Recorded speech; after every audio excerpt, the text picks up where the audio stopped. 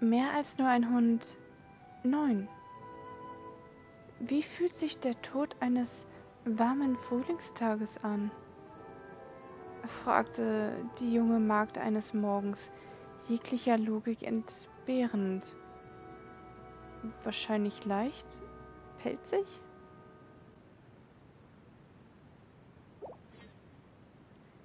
Dies war ein Wald ohne ein Ende. Ein feiner Nebel hüllte die Gegend ein, und die goldenen Strahlen der Morgendämmerung schienen durch das Blätterdach und verteilten sich auf der smaragdfarbenen Erde darunter. In diesem Moment umklammerte Magdalene einen Hund.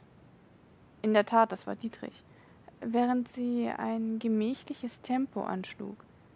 Wie ein eleganter Schwan hüpfte das goldhaarige Mädchen über die knorrigen Wurzeln der mächtigen Bäume und bahnte sich geschmeidig einen Weg durch den Wald. Welch ein Glück, dass gerade Magdalene da ist. Wenn es diese Hexe Notfrika wäre, dann würde sie mich sicherlich zum Laufen zwingen oder irgendeine Art von Magie anwenden, um mich zum Laufen zu bringen. Dieser Weg ist nicht für Hunde gemacht. Nein, äh, nicht einmal für nicht einmal Menschen könnten ihn durchqueren. Es gibt nicht einmal eine Straße, nur Bäume.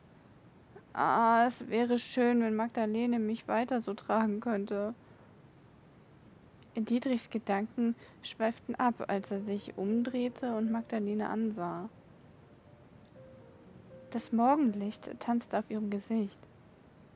Sie besaß eine Schönheit, die der einer Edelfrau und nichts nachstand.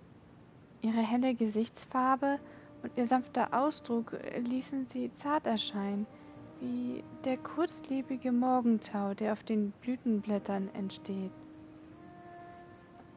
Magdalenes Haut ist so schön.